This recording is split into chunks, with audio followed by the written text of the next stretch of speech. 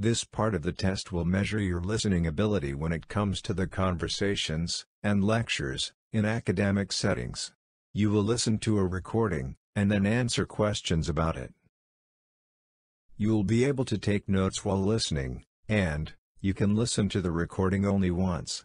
The questions must be answered in the presented order. During the exam, you will not be allowed to go back to the previous question. The questions will be about the main idea, and the supporting details. Some questions will be about the speaker's purpose or attitude. Answer the questions based on what is stated or implied by the speaker. Sometimes you will see this icon. It means that you will have to listen to a certain segment of the recording, and answer a question about it. Now listen to the lecture. General relativity, which explains how mass affects space-time curvature, has as a result led to the discovery of black holes. When a big star runs out of fuel and collides with itself due to gravity, a black hole is created. The star's core is crushed into a singularity, a region of infinite density. The event horizon, which stands for the boundary between which there is no turning back, is an area that surrounds the singularity. Light cannot escape the black hole's gravitational pull since it is contained within the event horizon. Black holes may be a rather confusing notion, as you can surely understand, but their research has produced significant advances in our comprehension of physics and gives us important insight into some of the most severe circumstances in our cosmos. In fact, it is particularly intriguing to consider that something so enigmatic may have such a significant influence on how we see reality. Black holes can range in size, while supermassive black holes, which are found at the center of galaxies, can have millions or even billions of solar masses. Stellar mass black holes are typically about 10 times as large as our Sun. The existence of intermediate mass black holes which fall between these two classifications, has also been proven by recent research. The idea of Hawking radiation is strongly related to the physics of black holes. This phenomena, which bears Stephen Hawking's name, describes the ejection of particles from a black hole as a result of quantum effects. Contrary to popular belief, this implies that black holes radiate a very slight glow and are not completely black. Black holes may even lose mass over extraordinarily long durations and eventually evaporate as a result of Hawking radiation. Scientists are frequently intrigued by the so-called information paradox, which is one feature of black holes. The fundamentals of quantum physics state that information cannot be lost. However, when something enters a black hole, it appears as though the data is lost forever. The concept that information might be contained in the black hole's event horizon, or that it could be indirectly retained in some other way, is only one of the many possibilities that have been inspired by this seeming contradiction and have generated significant discussion. To sum up, the study of black holes offers us a singular chance to investigate the underlying physics and the makeup of the cosmos. Black holes continue to be a rich source of inspiration for academics and an inexhaustible source of intrigue for all of us, despite their elusive and cryptic nature. What is the main idea of the lecture?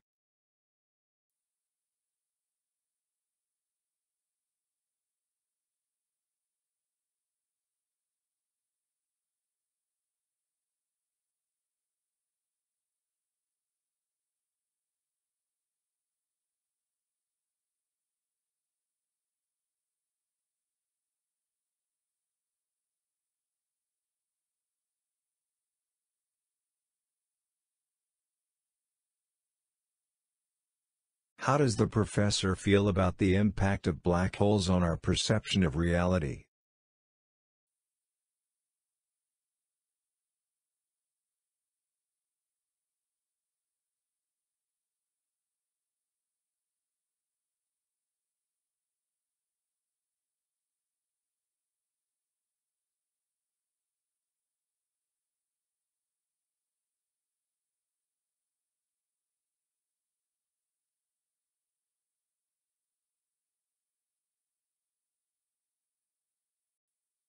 What is the professor implying when they mention that information could be indirectly retained, in some other way in the context of the information paradox?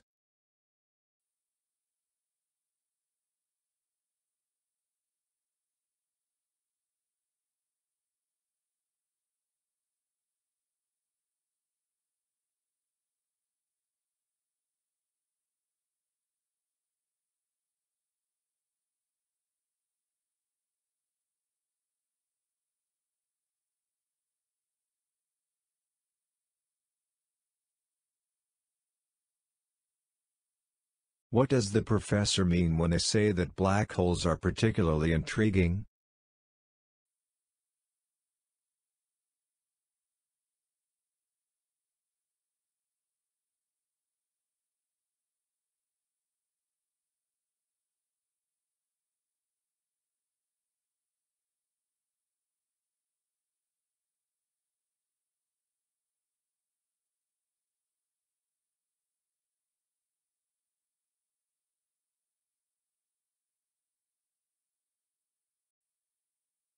When the professor discusses the information paradox, what is the deeper meaning they are trying to convey about black holes?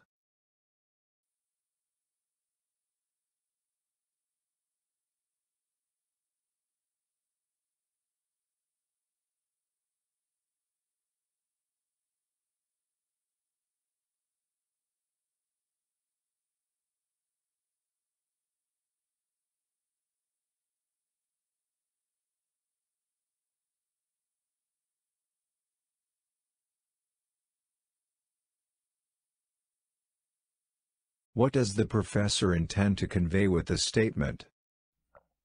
Black holes continue to be a rich source of inspiration for academics.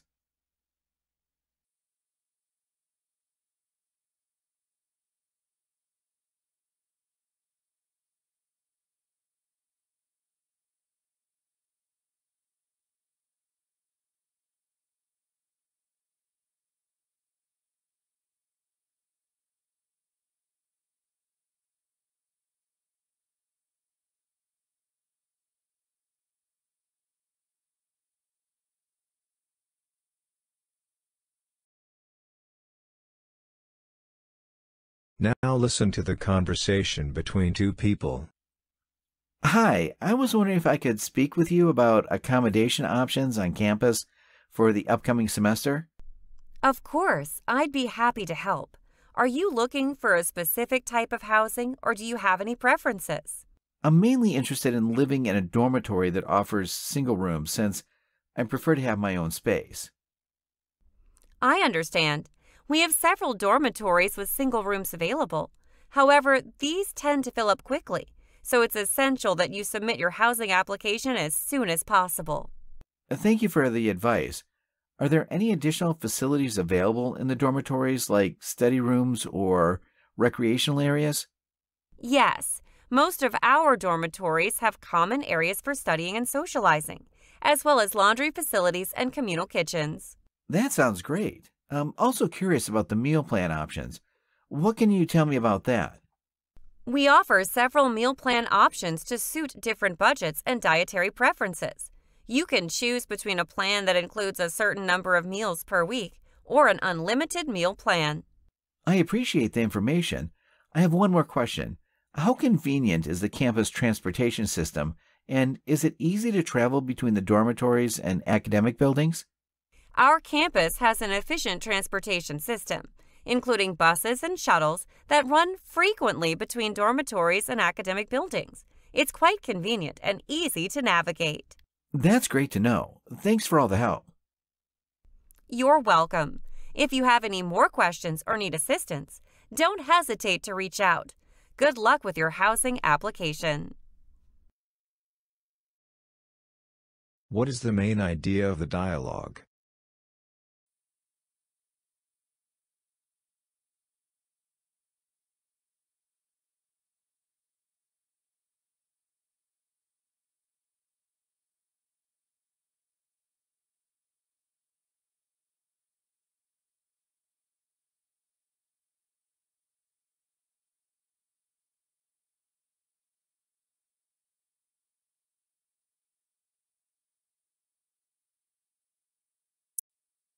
What does the student advisor imply when they say, So it's essential that you submit your housing application as soon as possible.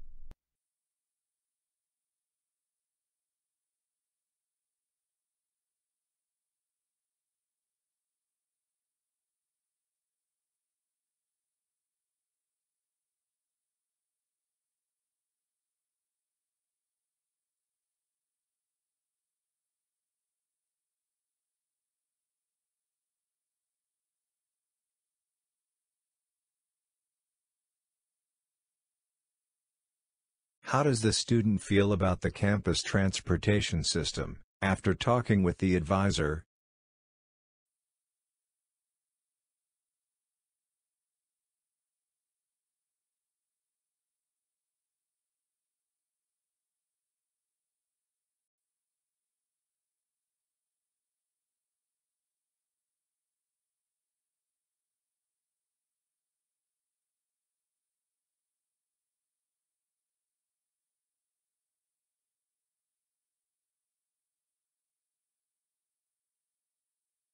What is the student advisor's attitude when they say, Good luck with your housing application.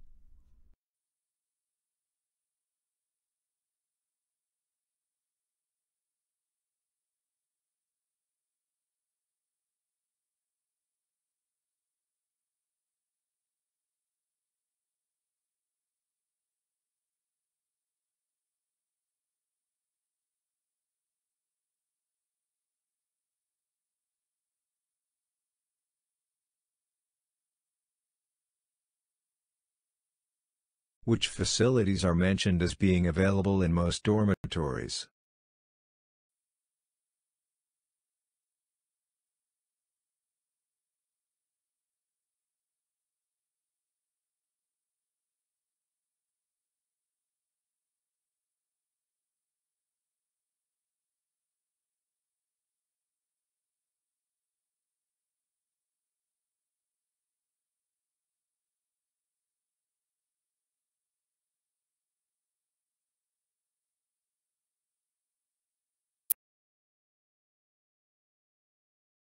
Now listen to the lecture.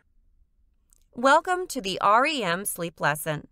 Extensive research has been done on this intriguing sleep stage, and knowing how it works can help us comprehend many different facets of our lives. In today's lecture, we'll talk about what REM sleep is, how it helps us learn and remember things, and how it affects our mental health. The quick and erratic movement of the eyes, a lack of muscle tone, and a propensity for vivid dreaming are all signs of rapid eye movement or REM sleep. As the night goes on, this stage of sleep normally begins around 90 minutes after falling asleep and repeats every 90 minutes or so, growing longer and more intense. The brain is reportedly very active during this stage, with neural activity resembling that of alertness, according to researchers.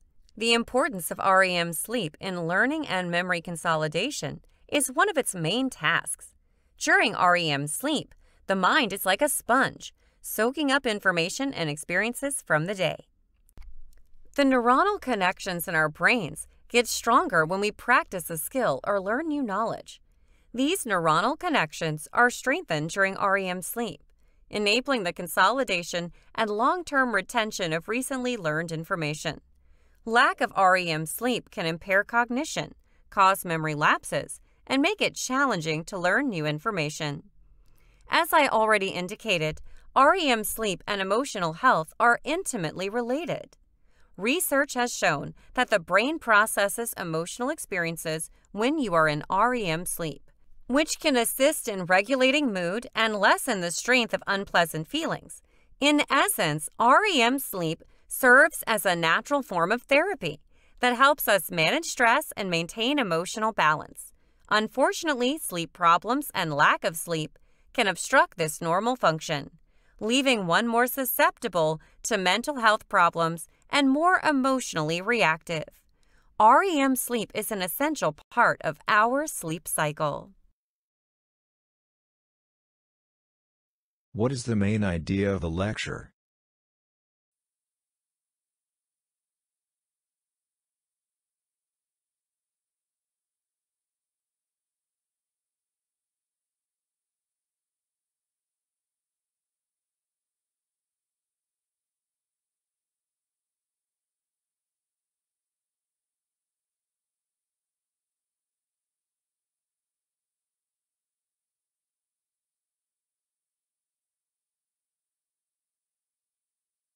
How does the professor feel about the importance of REM sleep?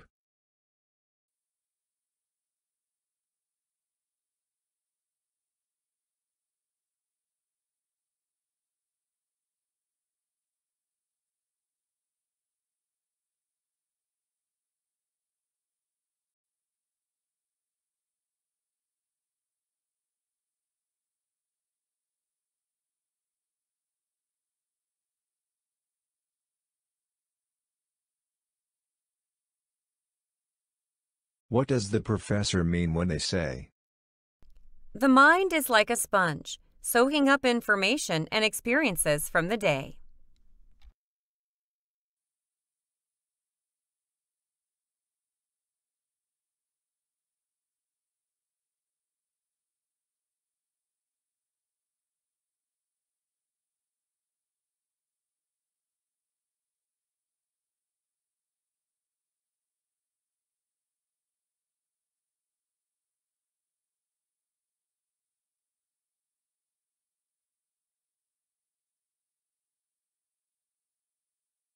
Why does the professor mention the brain's neural activity during REM sleep?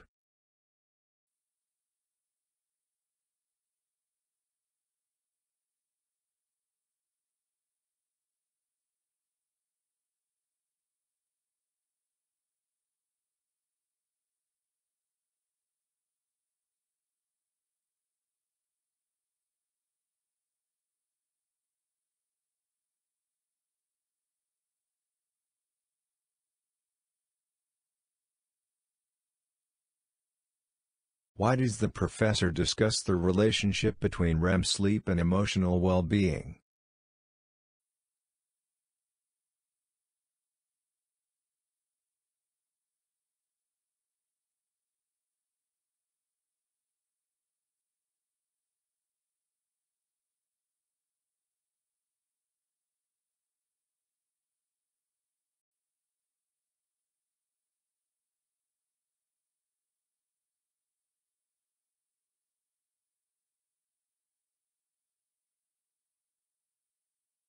Why does the professor mention sleep disturbances and deprivation in the context of emotional well-being?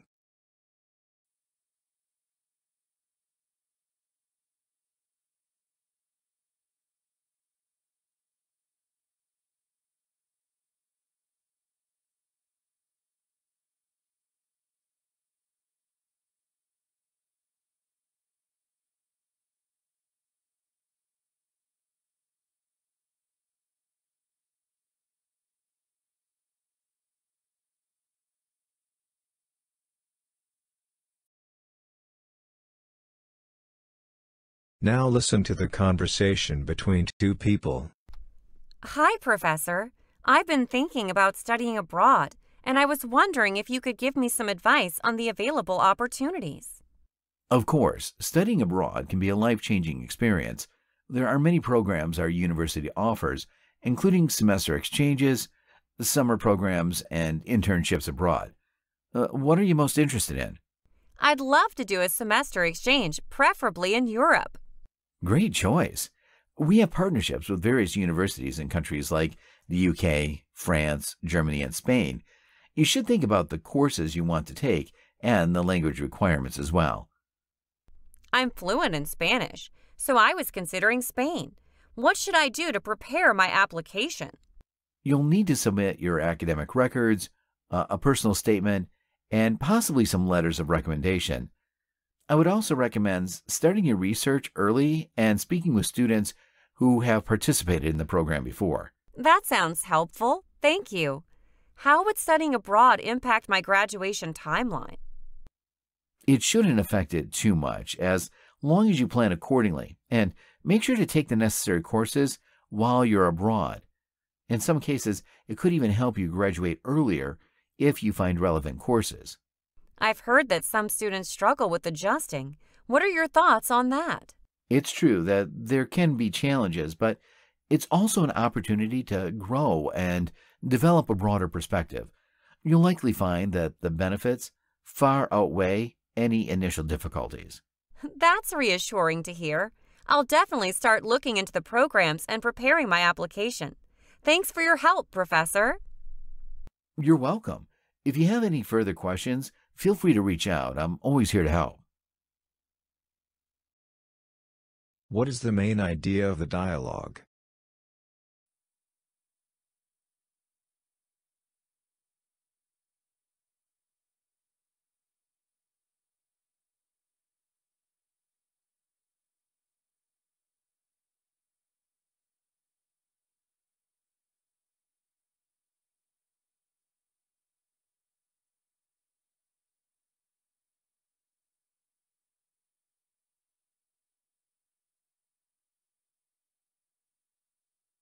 How does the student feel about studying abroad?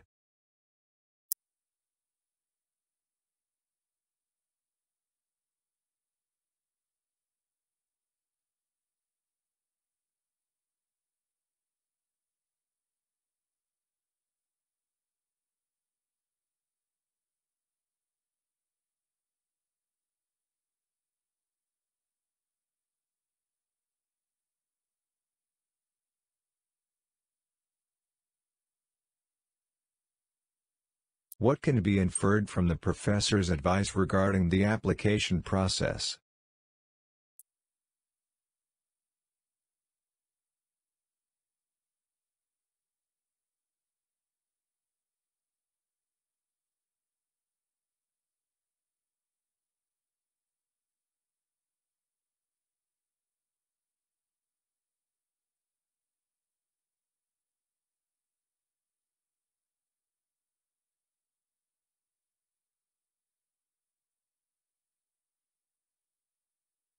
What does the professor imply about adjustment challenges?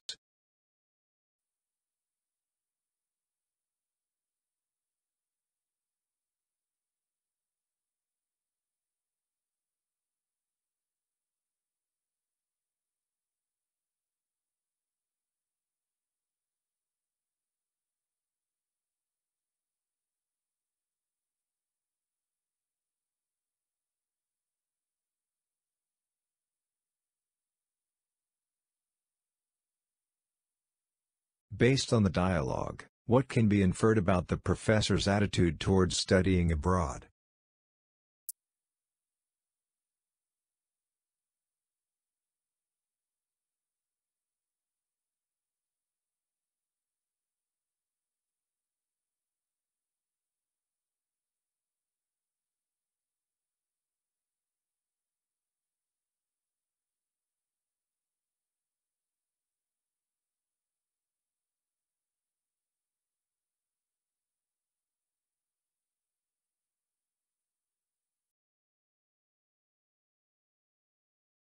Now listen to the lecture.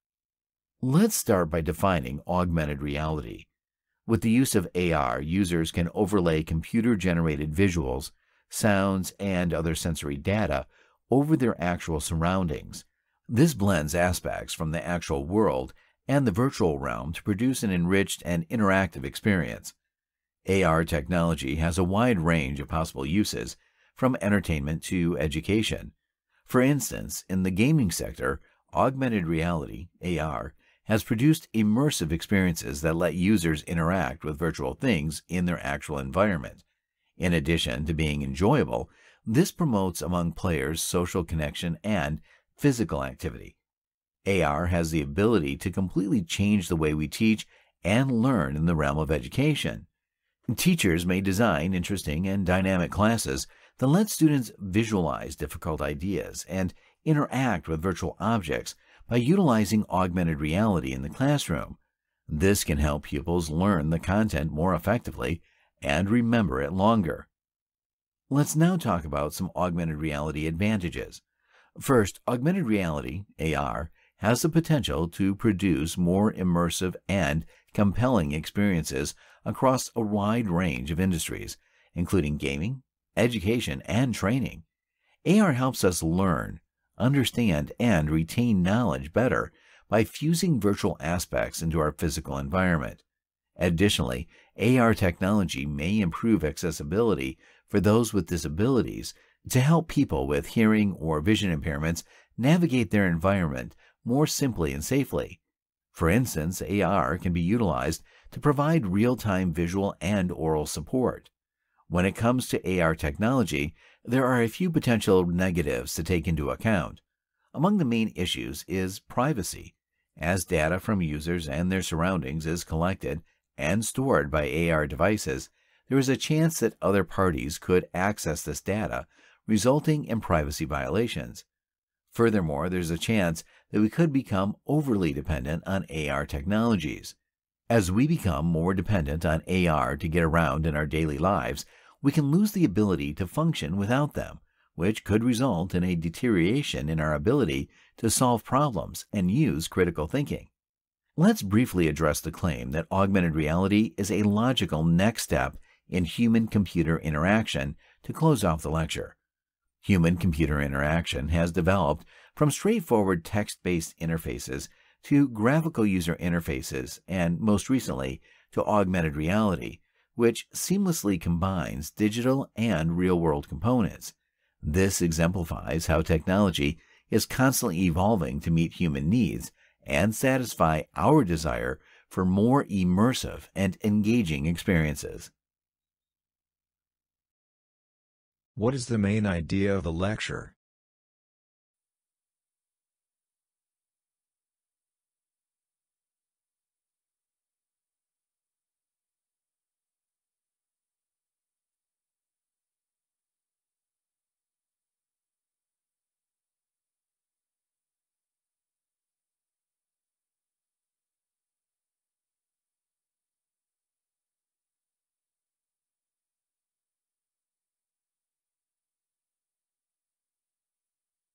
Why does the professor say that augmented reality represents a natural progression of human-computer interaction?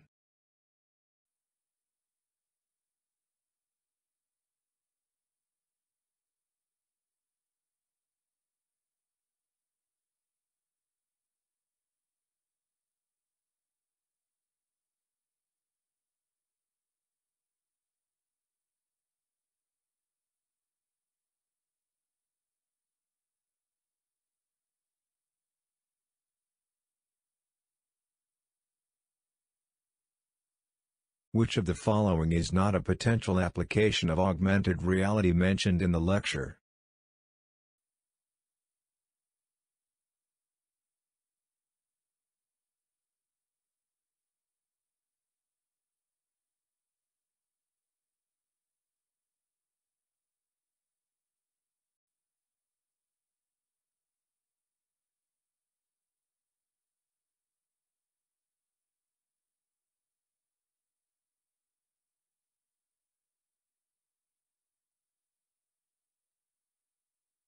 Sort the following statements about augmented reality based on whether they were discussed in a lecture or not.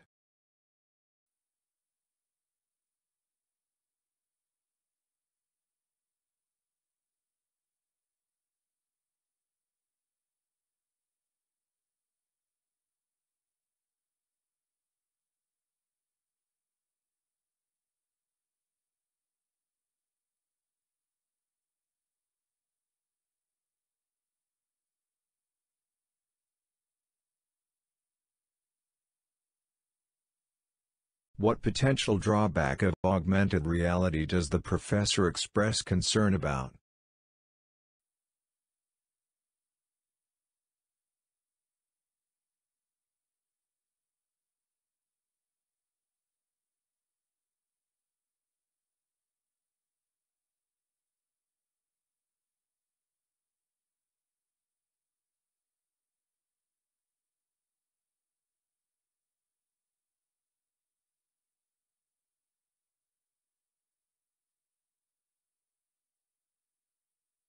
According to the lecture, which of these is not a benefit of augmented reality?